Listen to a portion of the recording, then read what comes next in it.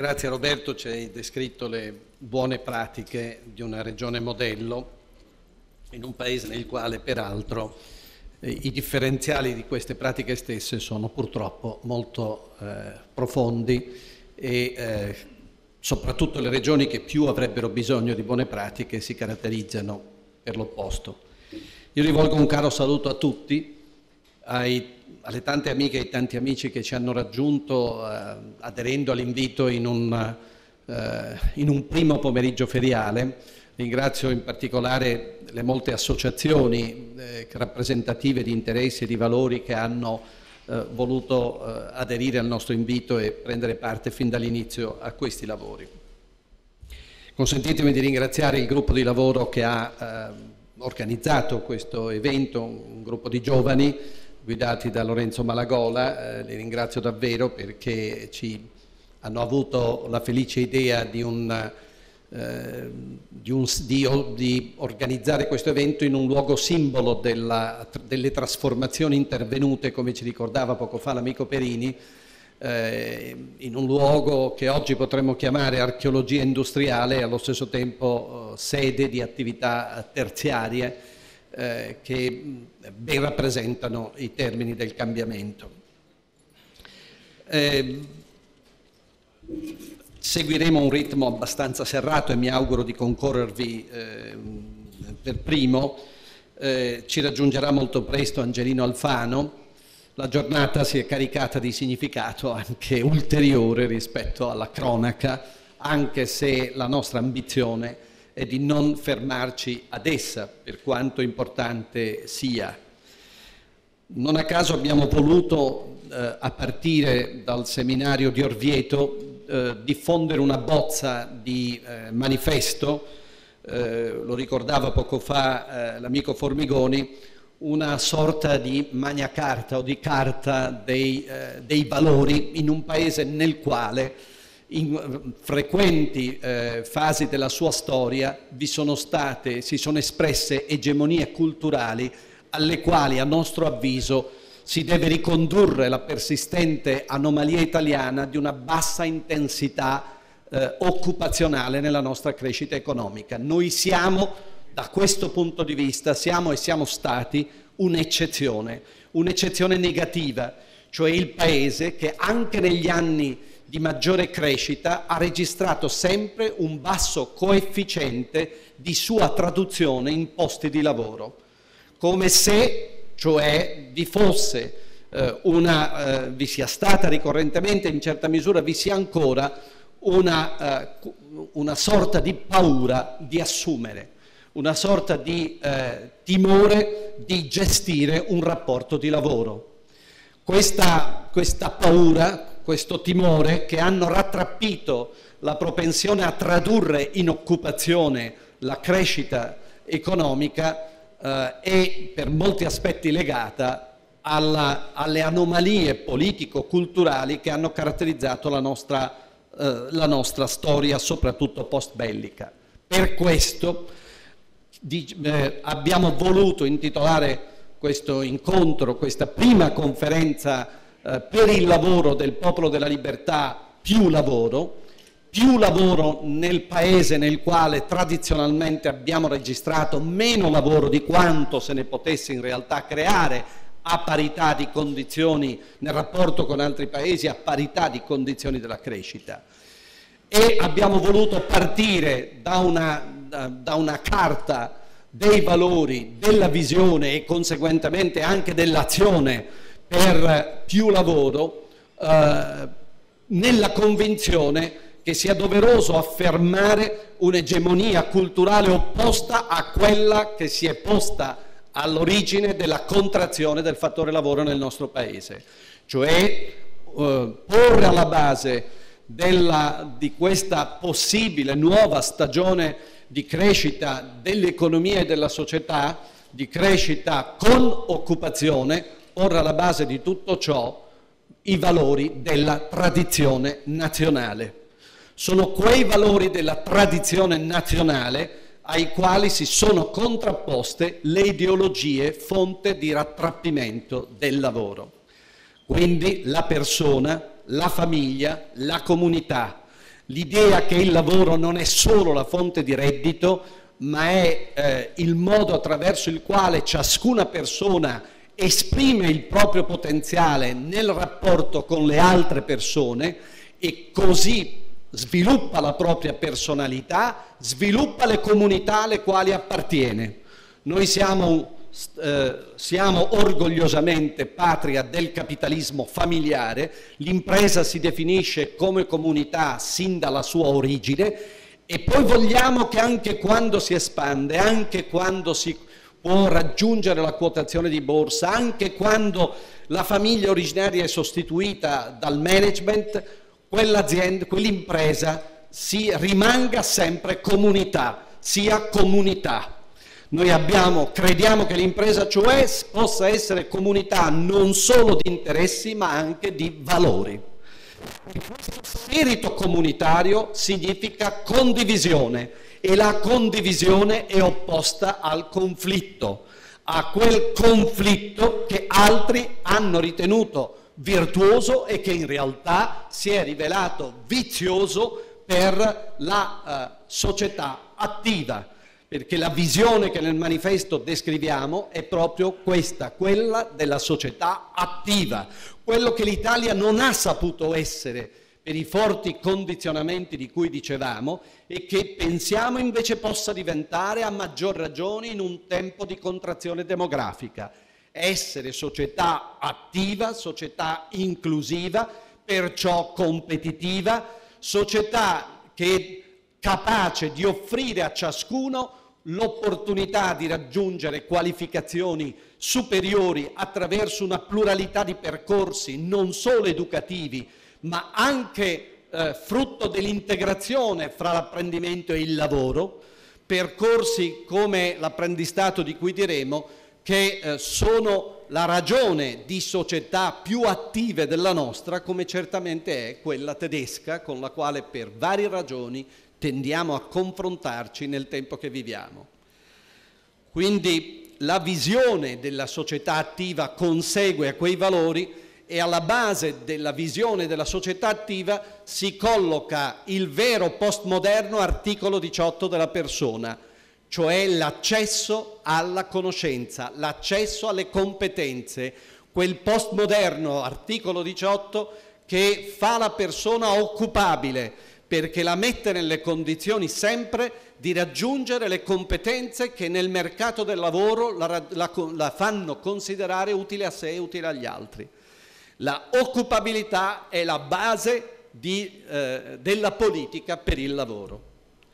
L'azione, si articola tre, lungo tre linee che molto schematicamente richiamerò. Più protezione, meno regolazione, più salario, più produttività. Più protezione.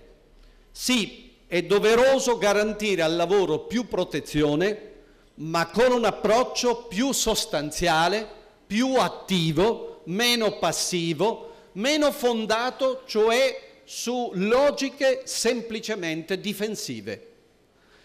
Più protezione significa pensare alla salute e alla sicurezza nel lavoro non in termini di adempimenti burocratici e formali, ma in termini di comportamenti sostanziali quanto più condivisi con coloro che in quella comunità che si chiama impresa eh, lavorano, condividono le fatiche. Io saluto gli amici dell'AMMIL che sono uh, qui presenti, l'Associazione Nazionale dei Mutilati e degli Invalidi del Lavoro, che eh, condividono questo approccio sostanzialistico e operano a partire dall'istruzione di base, grazie a un accordo che facemmo con la collega Gelmini, eh, per eh, diffondere la cultura della sicurezza, proprio perché non vogliamo affidare ai soli adempimenti formali un obiettivo così concreto come la salute nel lavoro. Più protezione attraverso non solo i centri per l'impiego, non solo le strutture pubbliche, ma più protezione rispetto alla disoccupazione attraverso una proposta che facciamo alle organizzazioni sindacali e alle organizzazioni degli imprenditori, costruire in ogni provincia un organismo bilaterale partecipato dagli uni e dagli altri per condividere le politiche di collocamento e di ricollocamento, cioè il collocamento, adoperarci in termini comunitari, cioè il territorio inteso come comunità, significa non solo affidarci alle funzioni pubbliche, ma integrare quelle funzioni pubbliche con le funzioni esperte come quelle delle agenzie private del lavoro, ma anche con le stesse parti sociali cui deve essere richiesto ancor più in questa stagione di partecipare attivamente dell'accompagnamento di coloro che non hanno mai trovato il lavoro o che hanno perso il lavoro verso una nuova opportunità di inclusione di, nel mercato del lavoro. La terza ipotesi riguarda, alla luce della recente riforma previdenziale, i cosiddetti lavoratori esodati e comunque i lavoratori che già oggi sono, con un linguaggio che per conflitto di interessi non condivido, considerati anziani. Lavoratori cioè a forte rischio di esclusione sociale e di assenza di reddito. Proteggere gli esodati è un dovere perché hanno realizzato accordi sulla base di una legislazione in quel momento vigente e sulla base della quale stessa devono poter eh, realizzare il percorso che avevano liberamente concordato. Proteggere i lavoratori anziani significa condividere l'ipotesi formulata dal governo di un fondo specifico per l'esodo sostenuto dalle imprese quando ve ne siano le condizioni purtroppo, ma allo stesso tempo anche, e questa sarà una nostra proposta di legge, un risparmio previdenziale che alimenti in forme trasparenti la previdenza obbligatoria, quel conto corrente che alimenta il calcolo contributivo. Cioè occorre non solo sostenere, come è doveroso e lo ribadiamo, il cosiddetto secondo pilastro della previdenza complementare, ma favorire l'afflusso di risparmio previdenziale anche al sistema obbligatorio per cucire periodi che nel trauma della riforma potrebbero non consentire le condizioni minime per una prestazione previdenziale adeguata. Quindi più protezione, meno regolazione.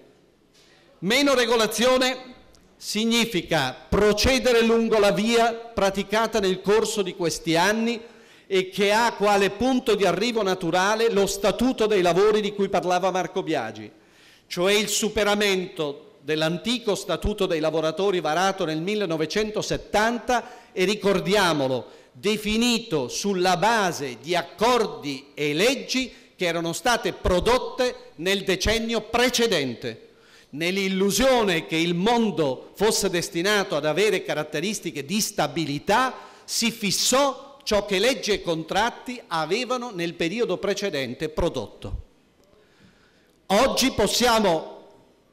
darci l'obiettivo in un tempo ragionevolmente breve di un nuovo, nuovo, testo unico semplice,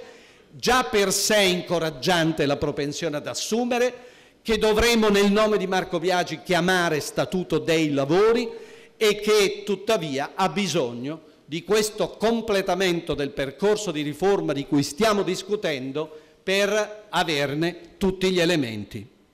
Quali sono i cinque elementi nella minore regolazione che sottolineiamo. In primo luogo l'apprendistato così come concordato con tutte le organizzazioni dei lavoratori, degli imprenditori, con tutte le regioni e financo con l'opposizione di allora, con un voto unanime parlamentare quindi, pochi mesi fa. Quell'apprendistato muoveva da due presupposti. Uno, che per incoraggiare le imprese a praticarlo occorresse più semplicità, più certezza. Secondo, che per renderlo efficace in termini di incremento delle competenze fosse necessario riconoscere l'impresa come l'ambiente formativo più idoneo. Queste due caratteristiche devono rimanere ferme anche perché unanimemente definite. Secondo punto, mantenere, eh, o meglio, corollario del primo punto, l'apprendistato deve essere il modo tipico con il quale entrare nel mercato del lavoro. Per questo noi abbiamo inteso contenere i tirocini e ci fa piacere che lo si voglia fare ancora un po' di più, limitandoli compiutamente alla fase educativa. Ma insieme noi facciamo una proposta e la possiamo fare proprio noi. Noi facciamo la proposta di abrogare le collaborazioni coordinate e continuative e le collaborazioni a progetto. Sono mature le condizioni per questa scelta. Lo possiamo fare noi perché è bene ricordarne la storia. Le cosiddette COCOCO esplodono nella seconda metà degli anni 90 sulla base di una circolare fiscale e di una norma previdenziale sotto gli occhi distratti del governo di sinistra e della CGL. Esplodono in quella seconda metà degli anni 90 sulla base di nessuna regola e nessuna tutela del collaboratore se non un profilo fiscale e previdenziale di tipo minimo. Marco Biagi diventa padre delle collaborazioni a progetto perché il mio amico Inglisano, che è qui in sala della, della CISL, e Raffaele Bonanni a quel tavolo, e credo anche Luigi Angeletti per onestà, a quel tavolo, in un certo giorno che ricordo bene, in un luogo informale, con una persona che non è più tra di noi, gli chiedeste, chiedeste a questa persona di dare regola ove non c'era regola, di dare protezione ove non c'era protezione. E così nascono le collaborazioni a progetto per dare regola e protezione ove non c'era. Oggi possiamo noi, che demmo regola ove non c'era, dire che è maturo il momento per abrogare il simbolo del modo improprio, il simbolo, se volete, dell'ipocrisia italiana, quella che voleva il rapporto di lavoro tipico, rigido e eh, la possibilità peraltro di eluderlo attraverso forme improprie come sono state le collaborazioni. Secondo, Vogliamo che rimangano semplici contratti a tempo indeterminato ad orario modulato, perché sono gli strumenti della conciliazione fra tempo di lavoro e tempo di non lavoro, in particolare tempo di famiglia. Il part-time deve esplodere nel nostro Paese, essere molto di più di quanto non sia, e voi capite la ragione per cui il part-time non si è diffuso, perché quella contrazione rispetto al fattore lavoro portava a contrazione dei datori di lavoro verso la quantità di teste da amministrare. Noi dobbiamo fluidificare l'attitudine ad assumere e a relazionarsi con più persone,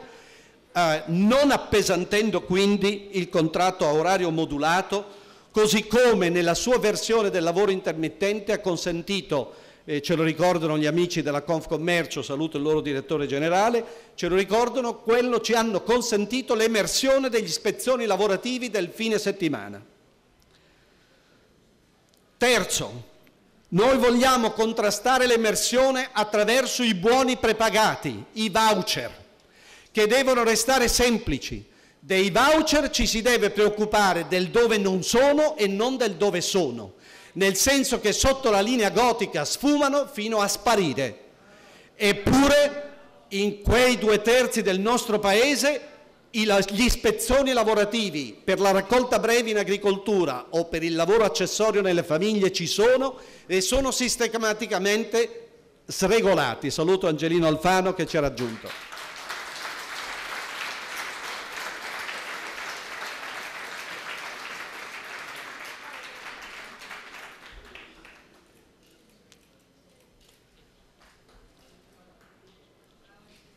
Ed Angelino è arrivato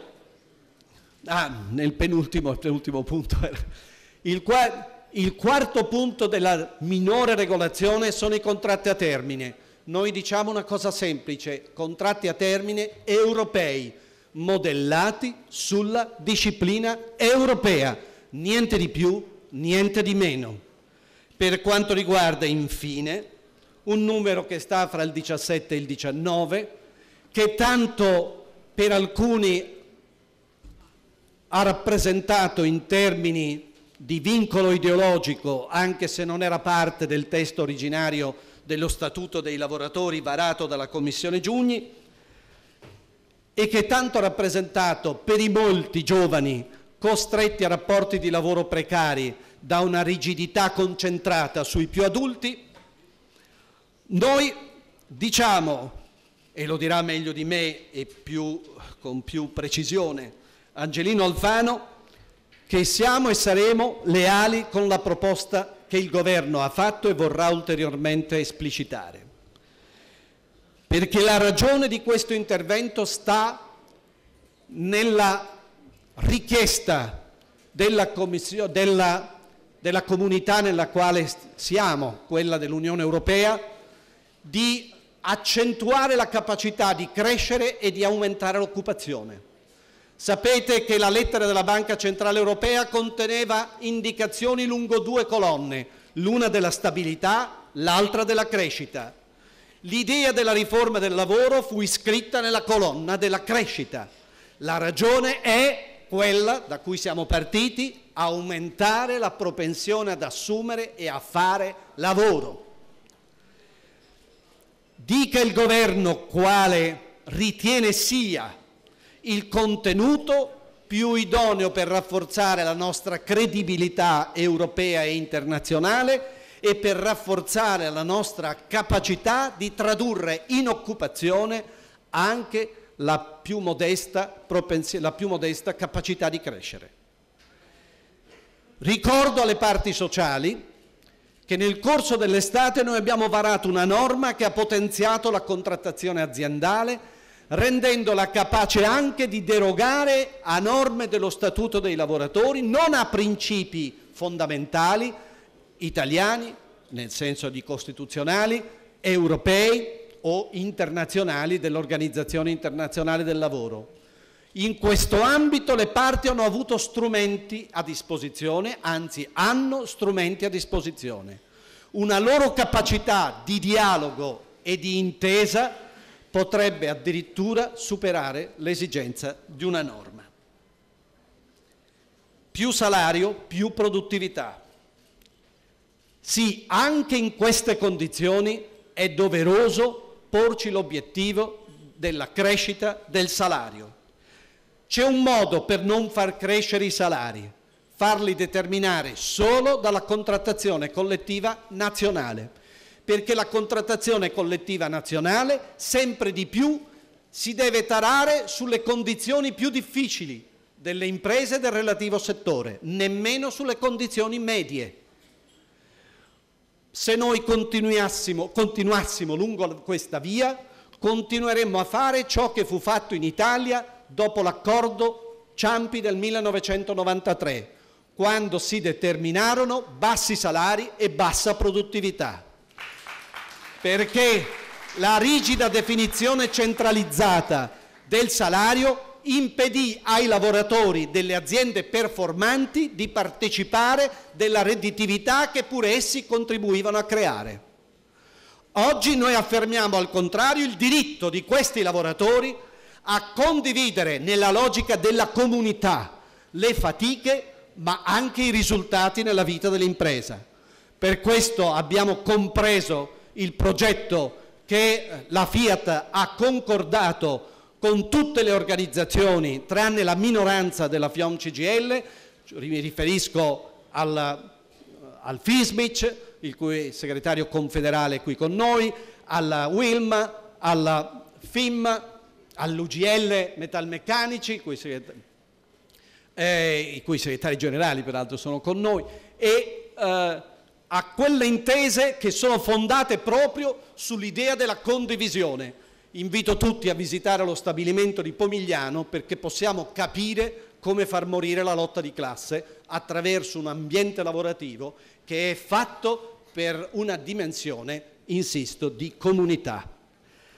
Più salario significa, e questo è un appello forte al governo, mantenere almeno la detassazione e la decontribuzione del salario deciso in azienda che abbiamo voluto dal primo Consiglio dei Ministri del governo Berlusconi.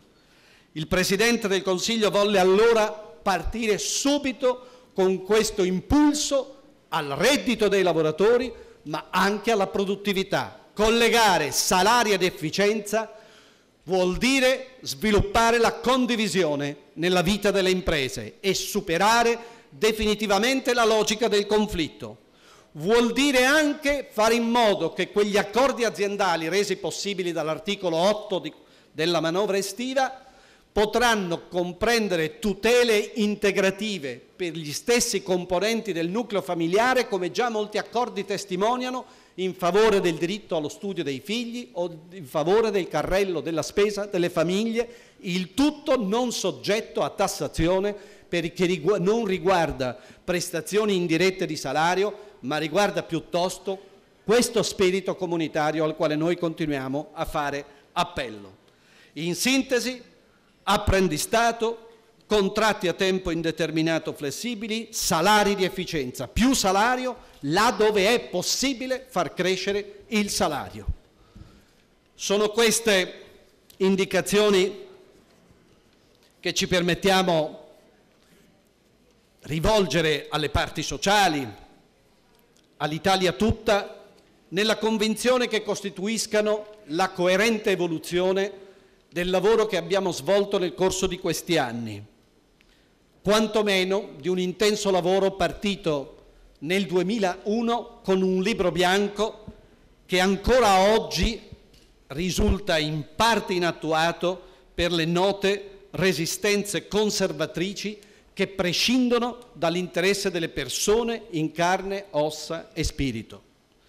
Noi che partiamo dalla persona, che mettiamo la persona al centro di ogni cosa, misura della bontà delle nostre azioni, fine ultimo di ogni nostra iniziativa, noi vogliamo soprattutto più lavoro per le persone.